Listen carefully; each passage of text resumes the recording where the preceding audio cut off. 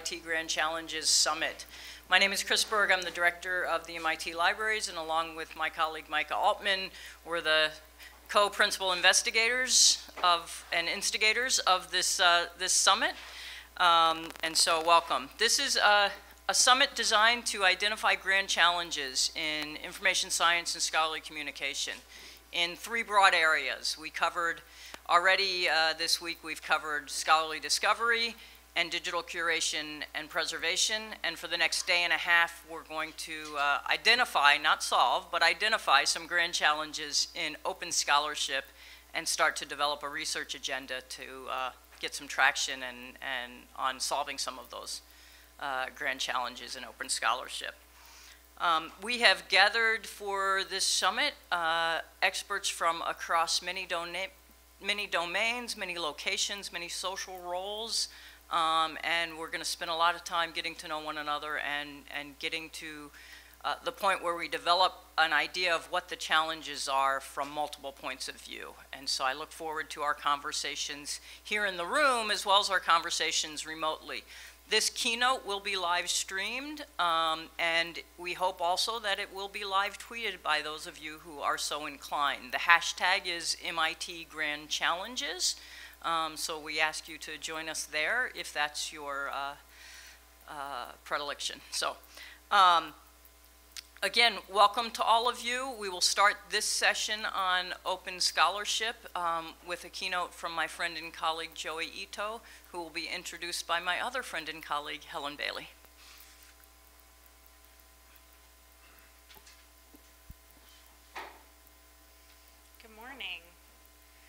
So Chris introduced me as her colleague, which is true. I work in the libraries at MIT. But I also currently work at the MIT Media Lab on a project called the Public Library Innovation Exchange, which aims to build collaboration between Media Lab researchers and public libraries across the country. This project is possible because today's keynote speaker believes in the value of libraries. And in fact, libraries and the Media Lab have a common goal, to support an open, collaborative environment where learning can flourish. As the director of the Media Lab and a professor of the practice in media arts and sciences, Joi Ito is no stranger to grand challenges. The Media Lab's vision is itself a better future. But what is a better future, and how do we know we're working towards it? In his 2016 book Whiplash, co-authored with Jeff Howe, Joi described nine organizing principles for navigating a future that is tumultuous and unpredictable. These include resilience, risk, and responsible disobedience, and are among the many concepts that Joi emphasizes as a leader, encouraging the Media Lab community to embrace these ideas in their work. And Joi's ideas and impact extend far beyond the output of the lab. He's also a serial entrepreneur who helped start and run numerous companies, including one of the first web companies in Japan, Digital Garage, and the first commercial internet service provider in Japan. He's a member of more boards and advisory committees than I have time to list, and has been an early stage investor in companies that radically changed our online social experience, including Flickr, Twitter, and Kickstarter. In recognition of his impressive contributions to the world of science and technology innovation, he has received numerous awards and honorary doctorates. But perhaps most relevant to our challenge today, he has long been an advocate of internet freedom and open scholarship. Joi was previously the chairman and CEO of Creative Commons, and his article in the first issue of the Media Lab's Open Access Journal of Design and Science highlights the important roles that libraries, publishers, and the entire academic community have to play in opening up intellectual discourse. I'm really excited to hear his thoughts today, and I hope you'll all join me in giving a big welcome to Joi Ito.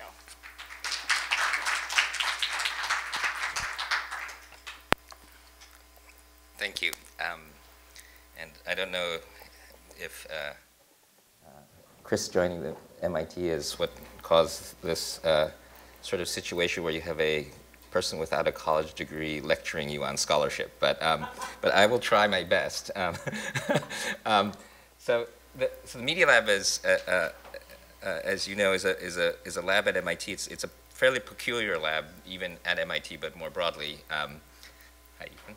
Um, and uh, uh, it's, it's sort of an unlab in many ways. Um, w- one of the uh, first words that I learned when I got there uh, here was uh, during a faculty search. We were, we it said in the sort of description of the job, um, that we were looking for um, anti-disciplinary uh, people. And uh, what what that means is it's not that our our faculty don't publish uh, in uh, scholarly journals in disciplines or that we don't like people in disciplines, but there's a lot of space uh, between and beyond the disciplines. Um, one of our faculty members, Ed Boyden, often uh, talks about the sort of well-known adage that um, drunk people look for their keys under the uh, streetlights because that's where the lights are. Um, but there are a lot of keys in the dark areas between the lamps, and Ed uses a metaphor of um, using a flashlight to go look for the keys where the federal funding and the academic journals don't shine their lights. And I think one of the key things that uh, the Media Lab tries to do is to help establish new disciplines, connect disciplines that are otherwise unconnectable. And, um, and we do this um, because we have a somewhat peculiar model where we have uh, 90 or so uh, companies that support us through consortiums. So we have a real luxury of having discretionary funding to fund those sorts of things that wouldn't normally be funded. So we feel that's actually our responsibility. And we have 26 groups. Uh, they're in all kinds of spaces like democratizing space or synthetic neurobiology or future of the opera or uh, um, uh, lifelong kindergarten, which is about learning. And so we're always looking, we're doing a faculty search right now, but we're always looking for uh, the other, the thing that we don't have, the thing that uh, the faculty member who couldn't get a job anywhere else, uh, who couldn't get funded anywhere else, but is still doing something hopefully uh, interesting and valuable. And so for us, um, a lot of scholarship is um, how do you have scholarship? How do you give uh, masters and PhDs and tenure in the department of none of the above? How do you how do you measure it? How do you have rigor? Um, a lot of it comes from uh, you know Piaget and then Seymour Papert and now Mitch's uh, ideas on constructionist uh, learning, which is really the the, the art of uh, learning through doing.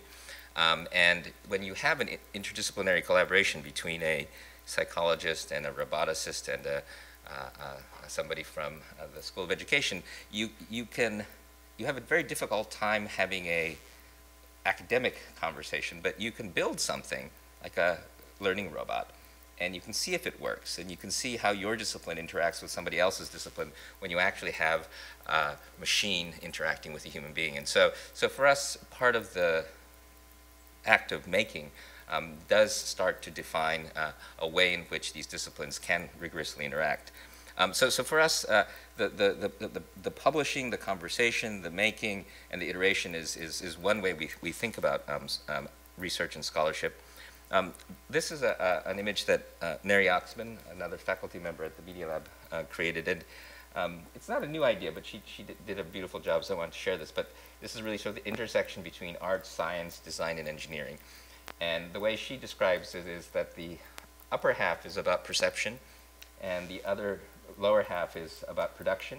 And if you say the left side is culture and the right side is nature, and you can think about this as an intersection, or you can think about this as um, sh she was inspired by the Krebs cycle, which is a natural metabolic pathway. But if you imagine that science takes information about nature and converts it into knowledge, and engineering takes knowledge and converts it into utility, and design takes utility and transforms it into behavior or societal value, and that art takes uh, society and converts it back into perception.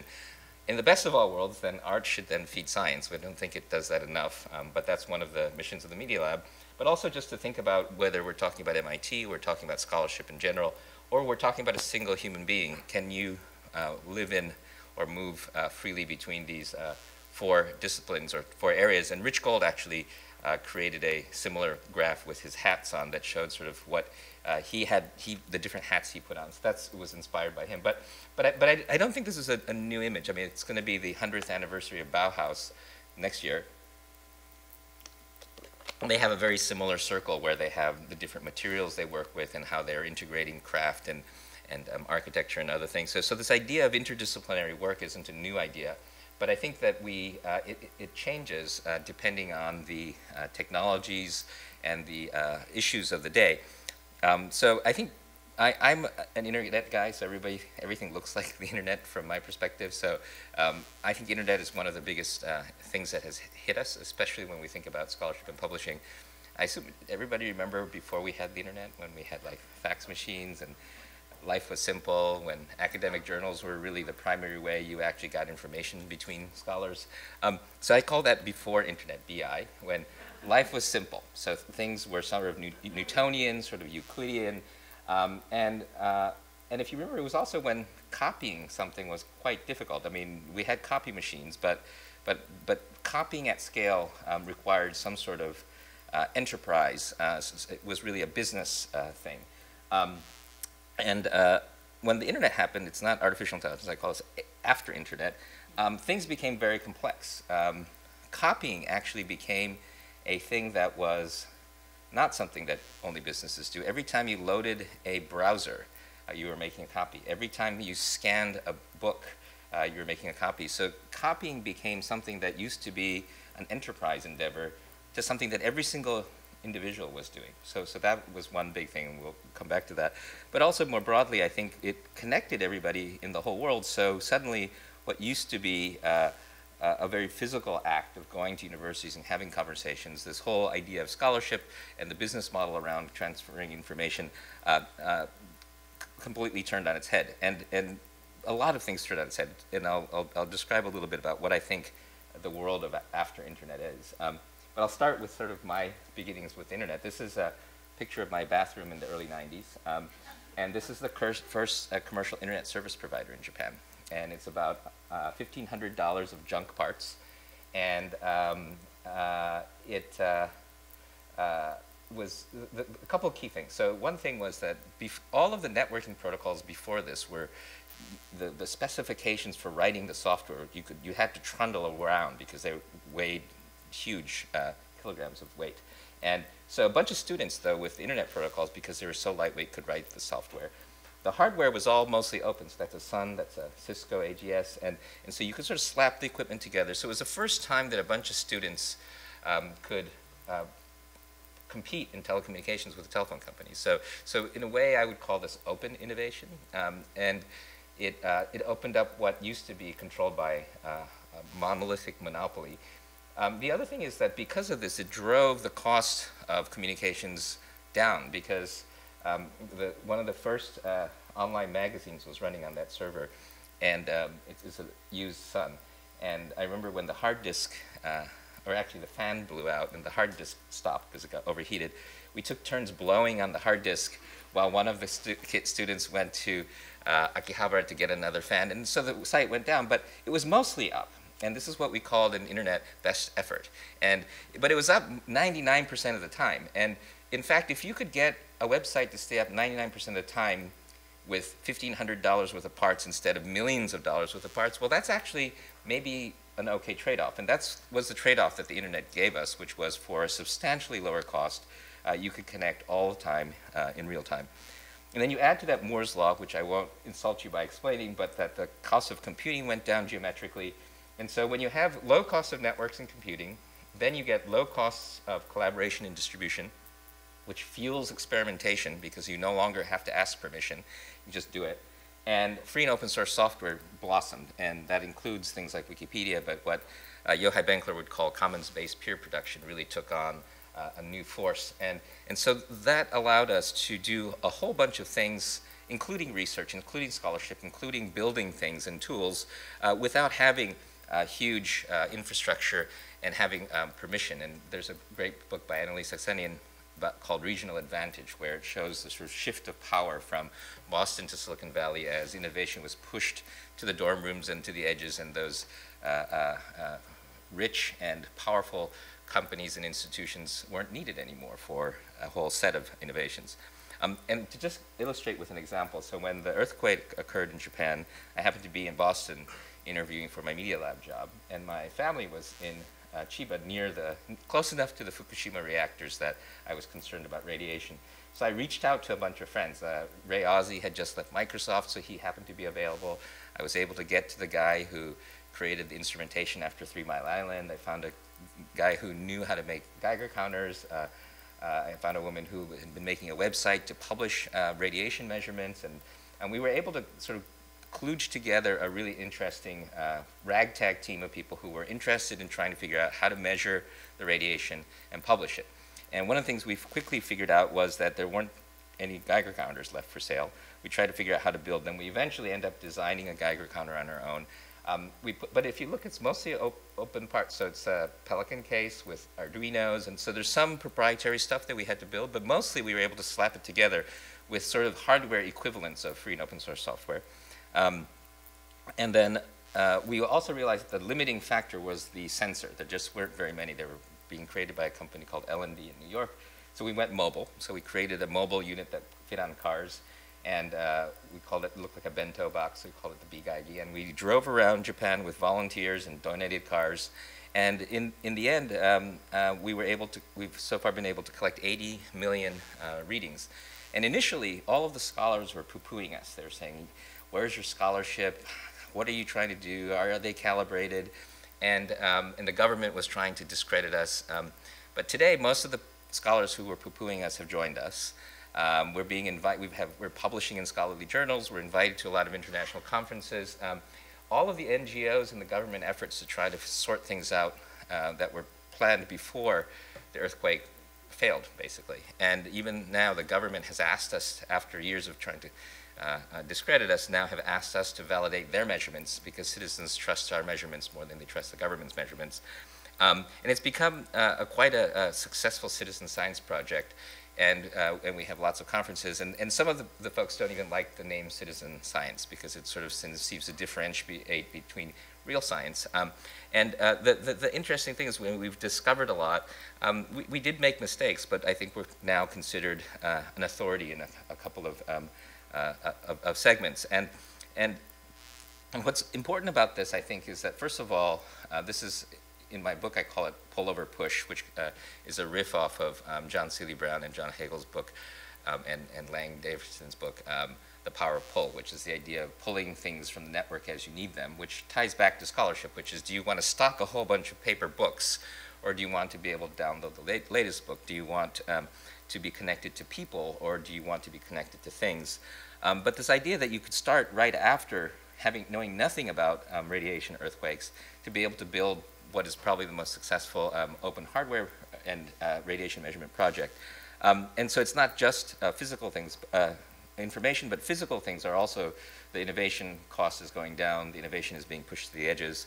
And I would say it's happening to biology as well. So um, Nicholas the other day, in his usual poetic way, came up with the phrase, bio is the new digital. And it's not that it's literally the new digital, but just like in the 90s when Nicholas uh, joked that newspapers would be delivered over the internet and everybody laughed. Um, I think it's similar where we think everyone will be involved in biology and um, people are laughing. But um, synthetic biology is becoming quite accessible where uh, snippets of genes are being uh, sequenced and turned into little bricks uh, that look like programming code that you can sequence, assemble, and put into something like a bacteria or yeast and reboot it, and then you've got um, biofuels and pharmaceuticals and many other things. Um, this is a few years ago now, but in my kitchen, uh, we were designing uh, uh, a bacteria that would create violacein, which is a really expensive uh, uh, uh, possible um, anti-carcinogen. And we were able to design it, assemble it, uh, transfect it into a bacteria, reboot it, and have the bacteria actually create violacein. And this would have been very difficult to do. Actually, I think there was a, a, a local ordinance that says I can't do this, and uh, I won't do this again without getting proper permit. But normally, this would require a proper lab with a lot of equipment. We just have a bunch of junk parts uh, designing and, and, and, putting together bacteria. Um, and this is happening at scale. So this is iGEM, the International Genetically Engineered Machines competition that's a spin out of MIT. 4,000 kids, high school, college, that bring their uh, genetically engineered uh, uh, microbes together for a competition. Um, silly things like um, dog poop that smells like winter mints to fairly sophisticated things that like um, microbes that might be able to help find landmines. Um, but the thing is, this has become uh, um, a high school garage thing. Uh, obviously, you know, it's a little scary. Um, the FBI sponsors a lot of the meetings. Uh, Ed You from the FBI is very integrated with this community, and it feels like he's been able to get at least a substantial portion of the community more concerned about um, making sure that the world is safe than um, trying to stick it to the man, which was the problem that the FBI had with the internet folks. Um, but the tools are getting cheaper, so you're starting to see kits that you can buy that in your home, um, very easily uh, used for uh, uh, things like uh, um, designing new bacteria, creating new things. So, so it's becoming, um, we, we, we use the word street bio or citizen bio, but again, the idea that it's a separate uh, thing from academic uh, bioengineering and research is, is starting to uh, disappear. And we have a, a, famous course at MIT that Neil Gershenfeld teaches called How to Make Almost Anything. There's a new version that he, they're doing with George Church called How to Grow Almost Anything, and it's sort of a how to make class for, for biology. And they are now broadcasting it um, and um, have a global network with a Fab network and making it available to people all over the world. Um, but there are a million life science papers a year. First of all, you, you can't humanly read a million life science papers a year, but most of those papers are uh, published under lock and key, and most of the kids who are participating from developing countries have no access to the academic papers. So this is really stifling uh, the ability for uh, non-institutional uh, researchers in, in, in bioengineering. Um, but I, th I think, you know, it, so, so, so we, we have, I want just to wrap up that thread. So we had with internet and software, uh, innovation and research being pushed to the edges because the cost of collaboration was diminished. And it sort of made sense with digital stuff, but it turns out it's true with hardware because the designs and the distribution of hardware can start to get pushed to the edges with a diminishing cost. And now with biology, we're starting to see the, the experimental tools as well as information getting pushed to the edges. What's not keeping up is the academic publications, the, the, the uh, hardcore scholarship um, has a hard time interacting with this system, not partially because of the style in which uh, the interactions occur, um, but also uh, the, the copyright and the, the publishing mechanism. Um, also being at a university, I want to talk a, a bit about um, learning and pedagogy. So our kids are, um, have phones, and I know some parents don't let their kids use their phones. And my 10-month-old is just, we're trying to figure out how much time she should be in front of the phone. But, but it, in the long run, we have phones, we have Wikipedia, we have tools in our pocket.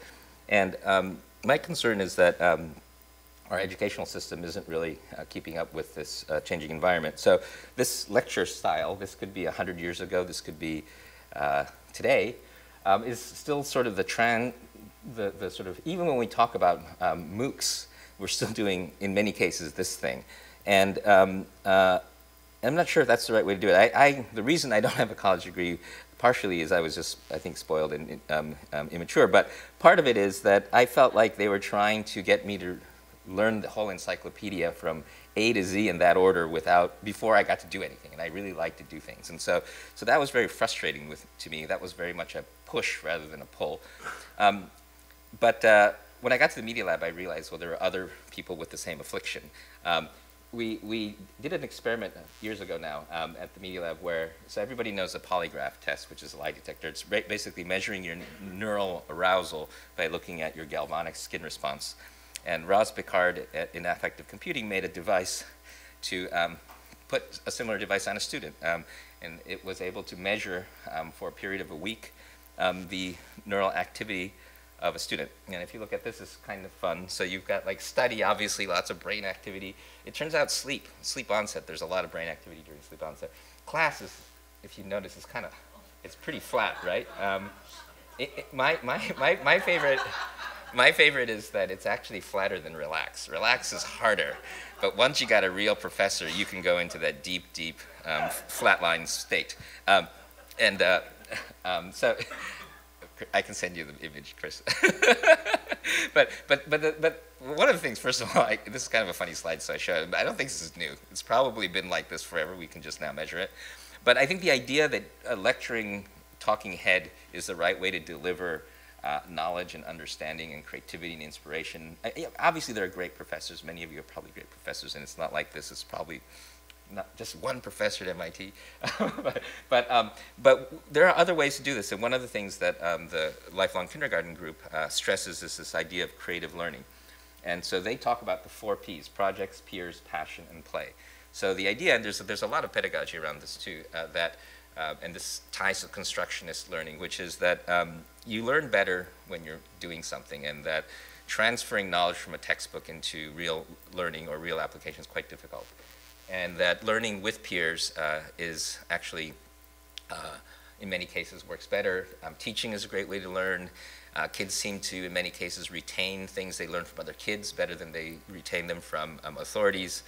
Um, passion, uh, you know, this is, this is, my, sister ended up studying uh, uh, learning in, uh, anthropology because she couldn't figure out how I was able to survive. So she labels me an interest-driven learner, which is sort of what you do if you follow your passion and you learn in the pursuit of passion. And, and in Finland, for instance, they're doing some experiments where they're doing project-driven learning rather than um, um, uh, uh, uh discipline-based, and, and there's the unschooling movement. Montessori is very much like this.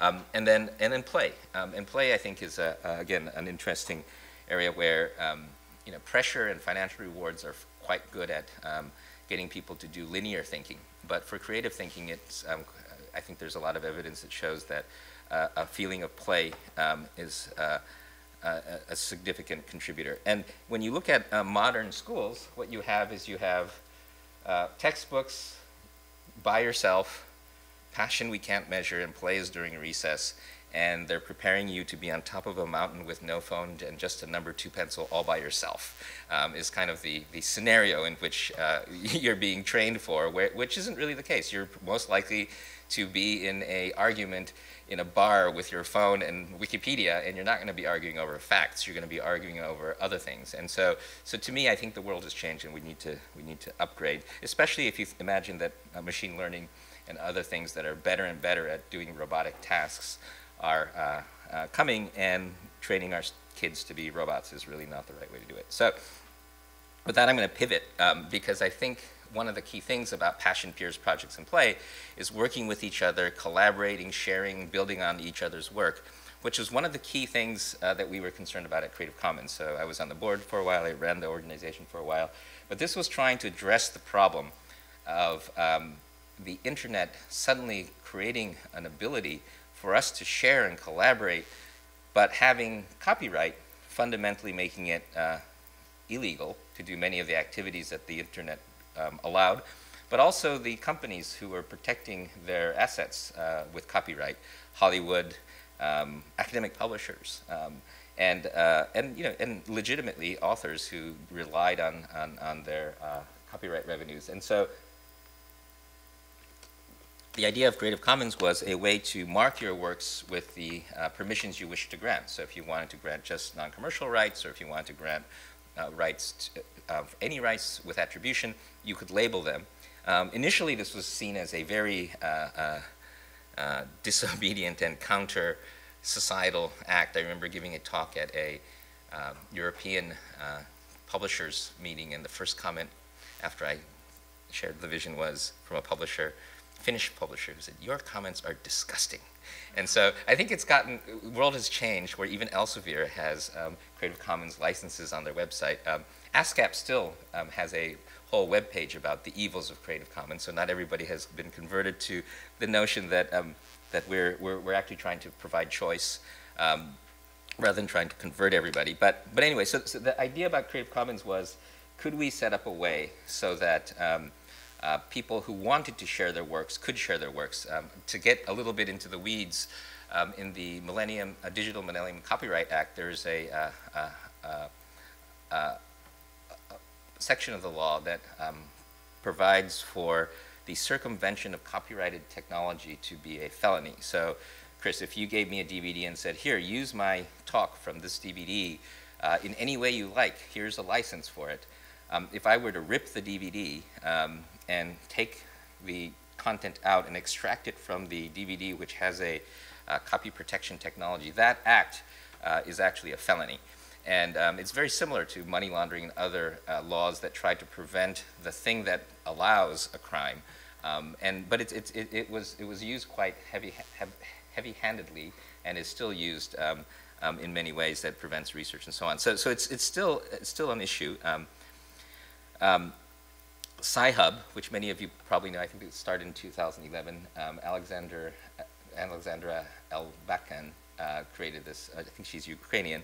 But um, it's, it's a website where you can download just about every academic uh, journal article, uh, uh, period. And uh, many publishers are now, uh, have, have filed a lawsuit. Um, there uh, is a, a claim, which is probably accurate, that um, it's, it's significantly impacting their revenues. Um, but um, and, and I'm not going to make any judgment on this, um, but, but, but the thing that's interesting to note is that um, it has suddenly made academic um, journal articles available to people who wouldn't otherwise have them. And so you see, if you look at the top 10 users, the top is China, the second is India, but interesting, US, UK, and France are also in the top 10. So, um, you know, uh, people in our country, either because of convenience or because of the copyright issues, are using Sci-Hub. Um, I know we have librarians here, so I'm sort of maybe just saying the obvious, but, but the, the cost of licensing uh, academic journals continues to increase. And even Harvard, I think, reduced their uh, uh, licensed journals by 30%, I think. Um, and there are certain um, universities that have just um, dumped, uh, I think there was a, a university in Germany that um, stopped Elsevier completely because they just can't afford it. So, so even the richest university in America can't afford all of the journals, which is somewhat crazy if you think about the fact that the journals are really kind of the lifeline of academic uh, interaction. And the, the, the, other kind of interesting thing is there was a, a, a, University of Pennsylvania study done that showed, so I think in the 60s, up until the 60s, you had to actually file uh, uh, the copyright every year to retain it. And so there journal articles from that, that should be out of copyright because they didn't file. Um, they're still noted as copywritten. Uh, my friend Carl Malamud did a, a study recently that showed that, um, so there's a law in the United States that federal employees' uh, work should not be copyrighted, but there are also, uh, I think, over a million articles that are listed as copyrighted in these databases. I'm sure it's accidentally, partially, but, but even copyright, uncopyrightable materials are often in databases noted as being copyrighted and prevented from being downloaded by people. Um, so, so I think Sci-Hub is an interesting thing that shows a demand for this knowledge. And but if, I mean, I'm, I'm on the board of MIT Press. I, I, think about it from the perspective of the publisher, and obviously somehow you need to pay for all of this stuff, the peer review, the publishing, and it just can't go out for free. Um, even though, you know, I think Tim Berners-Lee hoped that the, the web would do that. Um, there are some interesting cases, though. So if you look at the Berne Convention, um, which is from, I think, 1889, um, uh, which is sort of the basis of copyright law, there is an exception in here, um, illustrations for teaching. So it says, um, uh, the extent justified by the purpose, uh, literary works by way of illustration for publication, broadcast, da, da, da, for teaching, uh, there, there could be an exception. Um, it was tested, interestingly, um, and there's an act, uh, I think in 1950 something in, in India, and India has a code uh, which comes partially from the Berne Convention interpretation, partially from their constitution, that says that uh, acts uh, not to be an infringement of copyright uh, by teacher or pupil in the course of instruction, which is quite interestingly broad. And so this was tested recently uh, in uh, 2016 when a bunch of police went to shut down the copy office at the University of Delhi, uh, Delhi University, where they were making the course books for uh, classes. It was shut down and uh, slapped with copyright infringement, but they contested and they were they won in the high courts in uh, India, and the high courts ruled that this uh, copyright exception for uh, using material for instruction uh, should be upheld, and that distributing photocopied journal articles in class was not a copyright violation, which is pretty interesting. So my friend Carl Malamud, who runs um, Public Resource, and he's, he's an old copy fighter. Um, he's the guy who put all the patents online, and, uh, and then everyone went after him. But then it eventually turned into Edgar. And so, so he says, okay, well, well why don't I get a copy, um, not directly, but indirectly, of the journal articles on Sci-Hub, put them in a briefcase, which this is the first time this image is in public, uh, and head off to India, which he has done. And so Carl is now in India with a copy of just about every academic journal article on hard disks and he is trying to figure out a way to legally make all of the journal articles available. He's not going to put this all online. Um, he's going to make them available to university students uh, under the guidance of the courts in India. So this is a pretty interesting experiment, we're not sure exactly where it's going to go. He's literally in the process of getting this operation set up. Um, and uh, and there, I think, you know, as far as I can tell, um, and I'm not a lawyer, um, but it does seem like a, a, legal endeavor, and I think it should inform us. Um, and it might be an interesting thing to at least study how this plays out in India. Um, so going back to the position of the publisher, so, so at MIT with Chris and, and, and Amy, we're working a lot on open access publishing. I don't think I need to describe it, but the idea is that many of these publishers take your copyright and the, even the faculty themselves can't publish the, uh, or distribute the article. So by uh, getting uh, the right to do open access, whether the journal is open access or you pay for open access, you can uh, publicly share uh, the journal. Um, and we have this thing called the APC, the article processing charges, which is, uh, um, um, I'm going to use politically correct. It is supposed to correlate with uh, the cost of publishing the article. So the idea would be, and even with non-open access articles, the, the author or the institution can be charged for publishing the article, and by paying a fee, so for instance on Elsevier, I think it ranges from $50 to $5,000 per article, depending on the journal, you could pay to have your article become uh, open access. Um, and so basically the idea is that you're paying the cost, or cost plus, and that that somehow um, uh, frees uh, the, the, the uh, article. I think the big question is, does it really cost $5,000 to publish an article? Uh, what is the plus in cost plus? Um, but at least there's a, there's a path, and thinking about open access uh, uh, articles and article processing charges is a way to think about what the lever for making the world, or at least a substantial part of the world open access, is something to think about. Um, and so uh, this is the Media Lab logo and the MIT Press logo. Um, and so we are doing a collaboration with MIT Press. I'm a little bit conflicted because I'm also on the board of MIT Press. But we're doing a, a publishing futures group, which is uh, uh, not a lab, but acts like a research group. Um, and it's an initiative between the, the two institutions. And we're trying to do experiments and transform publishing um, and trying to figure out how to do a community-driven uh, system as well. So, so not just open access, but how can we engage a broader community from citizen scientists to cross-disciplinary groups. Um, and I think it's the first uh, uh, kind of, um, uh, first, first of this kind of collaboration. Uh, one of the things we've been doing is uh, developing a uh, platform called PubPub, which uh, one of our graduates, Travis Rich, has been working on. And this is really sort of an author-driven uh, online model where many of our faculty members are now launching their own sort of meta journals and bringing other people in to have conversations and collaborate. It's also very multimedia where you can have data and video and code. And so we're experimenting with the platform for publishing in, in addition to the copyright. And, uh, and then lastly, this is uh, building on the, uh, the history of open access at MIT Press, which uh, includes uh, previous publications like City of Bits, um, and uh, more recently the, the online version of that um, called, uh, what was it called, Frankenstein, Annotated Scientists, Engineers, and Creators of All Kinds. And, and oh, the online book is called Frankenbook. And um, we're, so we're experimenting with PubPub. We're using it for books, we're using it for journals. Um, but the idea is that there is both a technical and a publishing component of this lab, and we'd love to uh, work with you on that. And with that, I'll end. And if you have any comments, questions, uh, feel free to call my comments disgusting if you want. Thank you. Yeah, I can, I can make some questions, yeah.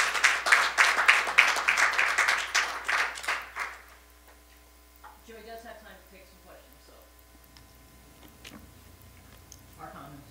Comments. Question, uh, back to your comments about Creative Commons and, and giving authors, creators choice.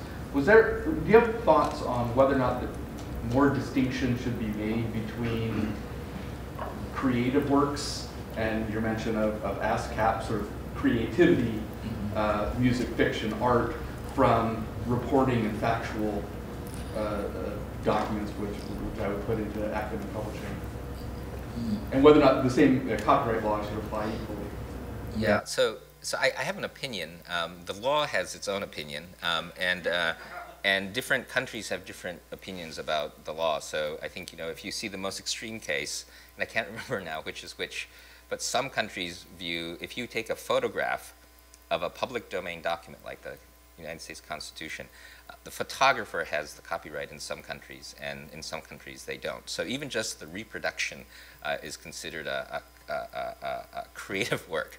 And so, so that's quite extreme. And so you're fighting against uh, a legal interpretation where making a copy uh, a literal facsimile is considered some form of creativity. And so, so we, we, we obviously, uh, in the United States, have a, a, a, fair use, which we don't have in, um, um, in uh, civil law, many civil law countries in, in Japan and other places where you really articulate like how many centimeters and da da da. Um, and fair use is interesting because fair use is really the right to argue that um, this was uh, uh, used for a purpose, how much creativity, you, you can argue things. Um, the thing about the courts in the United States is that um, because, and again, I'm not a lawyer, so this isn't legal advice, but, um, but because we're um, common law, if the practice changes, the law changes. So one great example is sampling uh, was okay, and it was considered a thing until the, the record labels started suing, and then people started paying for samples, and then they were able in court to push over uh, sampling and turn it into something that became um, a copyright violation when previously it hadn't. Um, there's a great section of the uh, Chicago Manual of Style, which um, uh, I wish I had here to quote, but they, they actually um, say to their uh, readers that um, uh, fair use is an important right that we have in America and that um, you have to fight for it.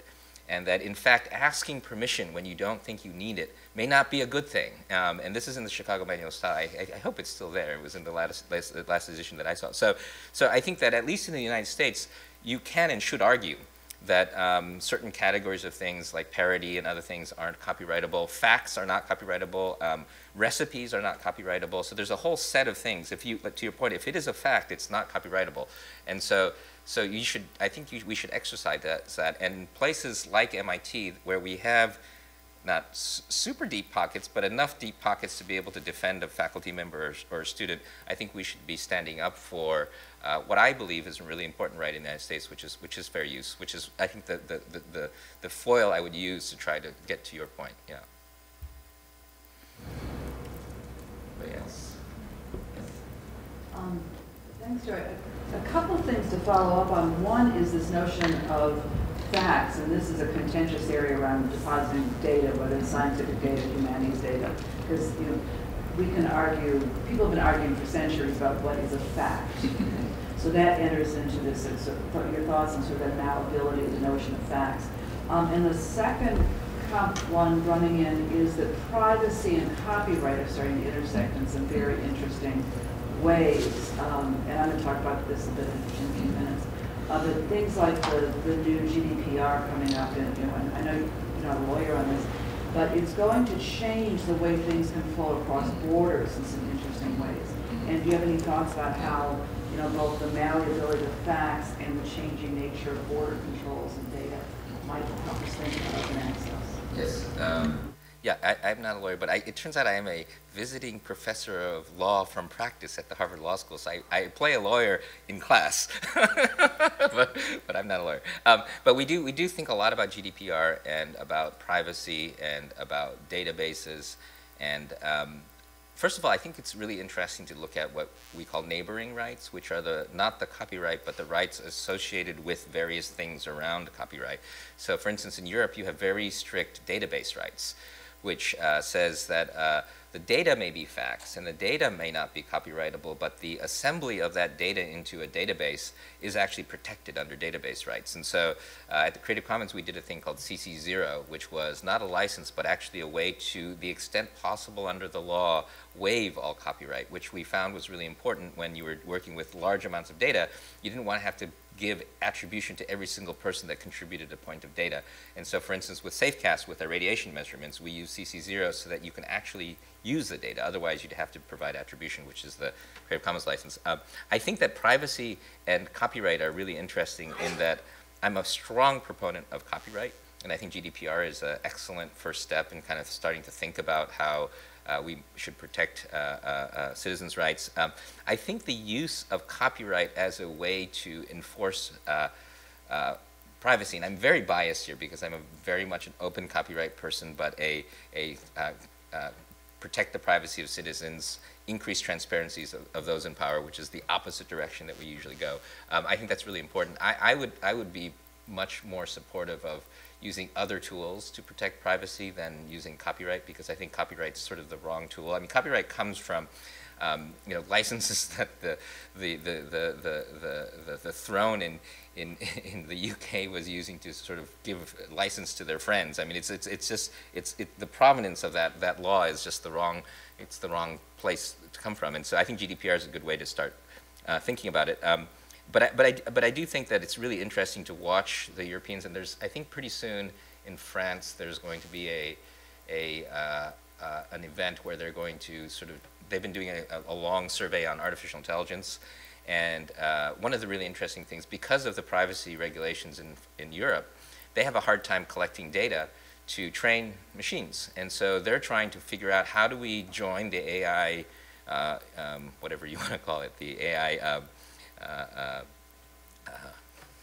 thing, yeah, revolution, um, uh, without being able to train our machines. And so I think that in a weird way, Europe may figure out interesting tools like uh, differential privacy and um, so because I think trying to figure out technical ways to do things like train machines or to uh, uh, filter for things without spraying private information all over the place, which is sort of the default in America, um, is, is, is, is a great thing. And I think Europe will be forced to think about them in ways that the Americans haven't. I, I think that, that uh, I don't want to go too far into this, but just the one, there's a great paper that I'm, ha I'm happy to post onto the site, but uh, of the use of FICO scores right now um, for marketing.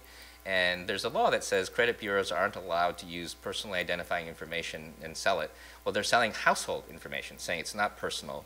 And they're targeting, um, um, uh, they're, these marketers are targeting um, extremely, uh, uh, uh, uh what do they call them, predatory uh, ads to these households. And, th and, that in the United States, just because it, it may be legal, it's okay, it's kind of crazy. And then they're now using things like social media to create credit scores, and people are using credit scores for hiring decisions and mortgage decisions. And I don't know if you saw the, the Spotlight article from November, but in Boston we have the, the mean uh, asset uh, value of a African American is $8, and the mean asset value of a white person is $247,000 because of access to housing uh, purchase. And so, or homes, because this includes the homes. And so, so you have these systemic biases in America that are now being reinforced by the sort of um, use of, of data in appropriate ways. So I think, I think I lean very heavily right now on trying to figure out ways to um, uh, protect, not just protect data, but to try to prevent the generation of algorithms um,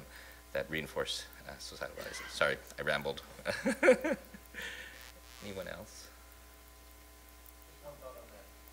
Mm-hmm. As far as open scholarship and citizen science, um, it's a question of authority, and, and, one of the things that makes it fact to fact um, is uh, peer review um, and the authority that blesses it as a fact.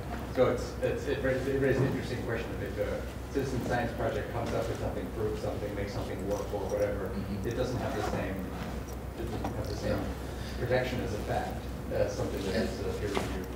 Yes, and I think one of the things, and this is something Amy has been working a lot on, is alternatives to traditional peer review. So one of the things that you can do on PubPub is you can invite uh, people to come and review your paper. So instead of a traditional blind peer review system, I could click and have eight people that everybody trusts read my paper and comment, and I can version up based on their comments, and then it would be a kind of pull peer review. Um, uh, in the case of the citizen science work, um, we, we do end up um, going to academic journals for some of our papers to sort of anchor them uh, so that then we can um, uh, validate it. But um, it reminds me of Bruno Latour's uh, Science in Action, which it really talks about peer review as really kind of the social phenomenon. And so the extent to which the internet is changing the social network, um, I think it's kind of interesting to think about like for, for instance, Wikipedia is a really weird uh, category of peer review. It's sort of the peer review that if it survived the scrutiny of the internet, it might be true, um, versus uh, we talk to three experts and they think it's true. And it's a really interesting uh,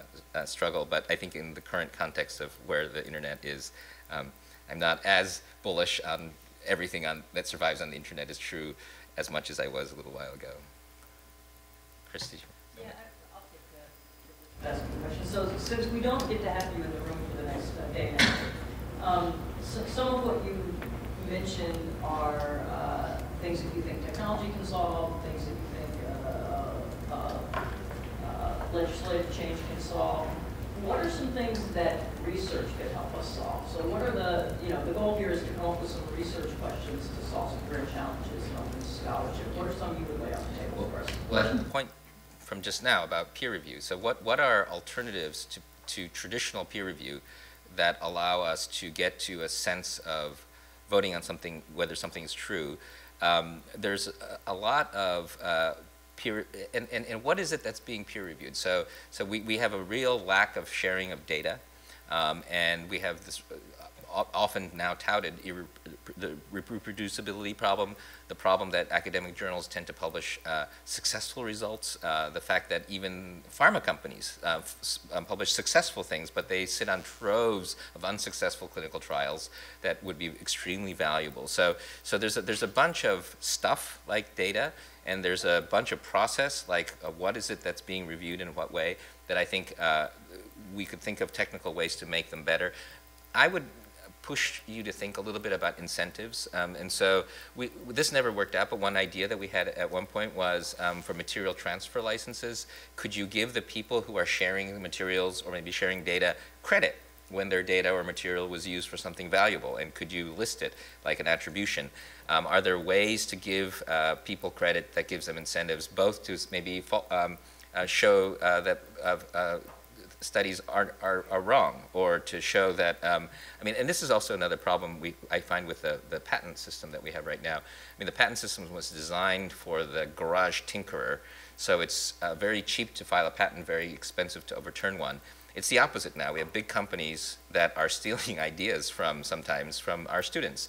And what you find is it's very expensive to overturn, and it's very cheap to make. So people are filing patents like crazy. You could easily reverse that. You could say that, um, and this is an idea that I got from, uh, uh, I should, probably shouldn't say the person's name, but, um, but somebody in the government, which was um, you should get a bounty if you overturn a patent. You shouldn't, and it, you shouldn't have, your, your, your legal costs should be covered. And if your patent's overturned, you should pay a penalty.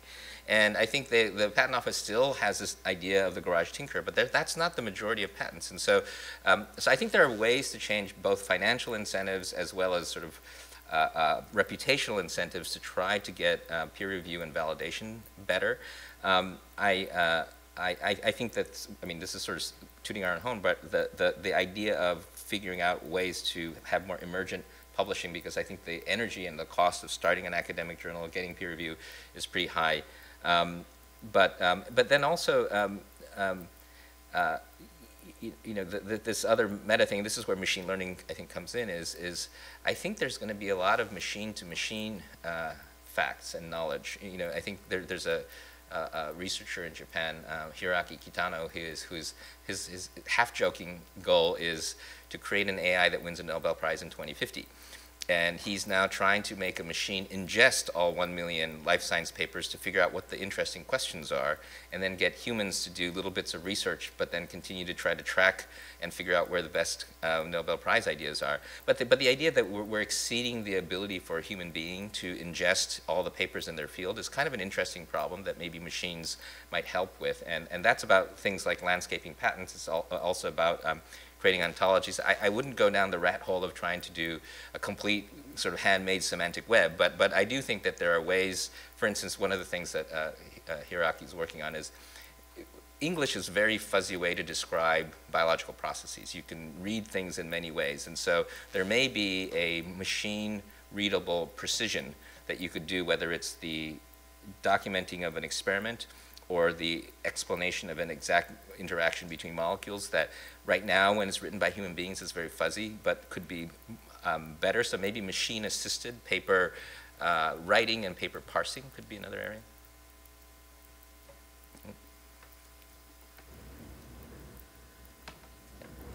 Maybe building on this, um, I mean, I've, I've read that when automobiles came out, basically people putting gravel in those pathways and horses and carriages along these routes were sharing pathways. And the realization came that that can't work.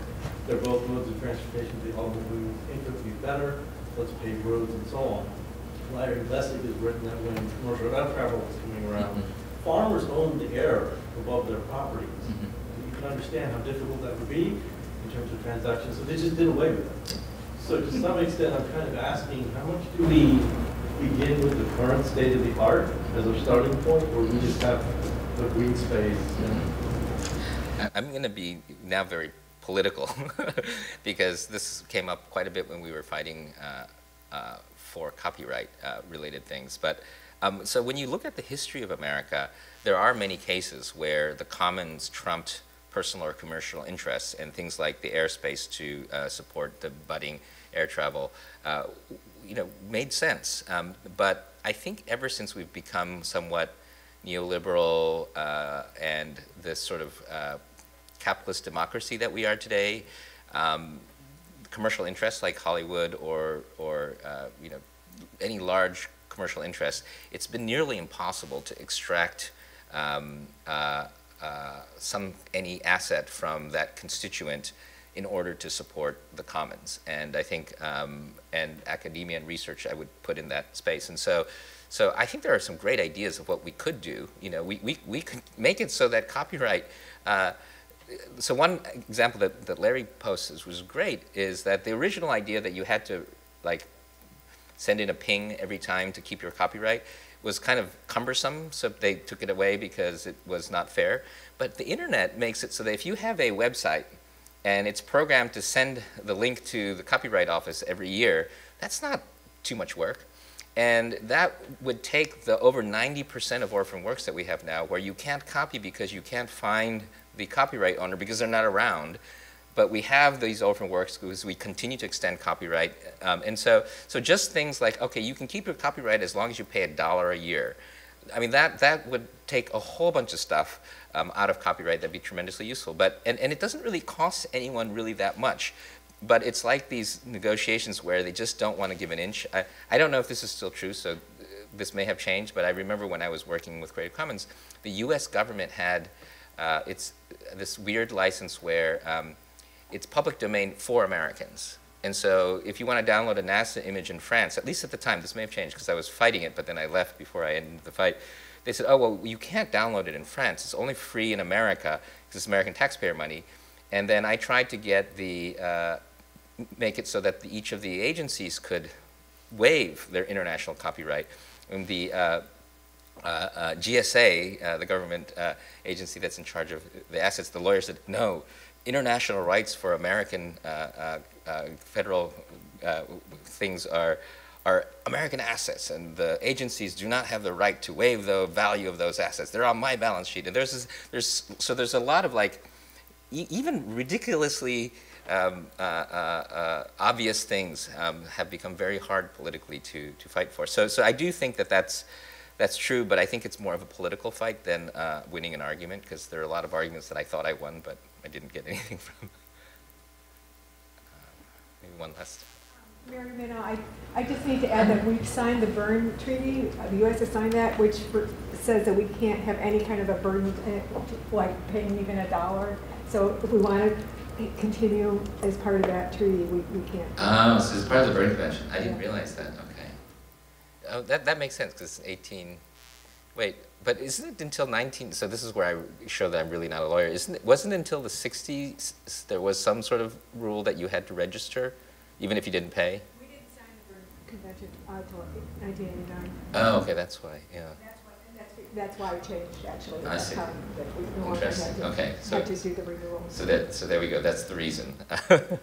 but we could go back and redo the Berne Convention and say now that we have the internet, maybe all countries should pass a law that says that if you are unable to identify the copyright owner, I mean, the, the orphan works thing I think is sort of a maybe low-hanging fruit that we might want to try to do. Um, well, thank you very much, and hope you have a fruitful day. Thank you. All right, thank you, everyone. That ends our live stream, and for those of you in the room, we're going to take a 10-minute break and reconvene in this room in 10 minutes. So, thanks.